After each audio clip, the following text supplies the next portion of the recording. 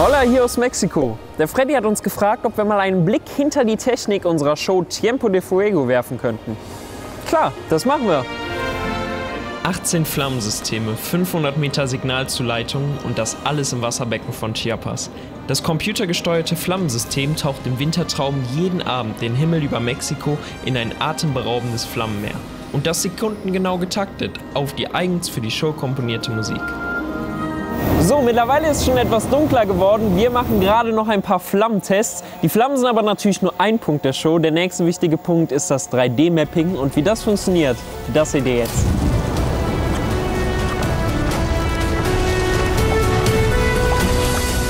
Sechzehn redundant verschaltete Hochleistungsprojektoren erwecken die Felsformation in Mexiko zum Leben. Die fünf Beamer-Schränke werden extra für die Show jeden Abend neu kalibriert. Ein eigens für das Phantasialand produziertes 3D-Mapping lässt jeden Abend auf der 1200 Quadratmeter großen Felsenoberfläche die Grenzen zwischen Realität und Traumwelt verschwimmen.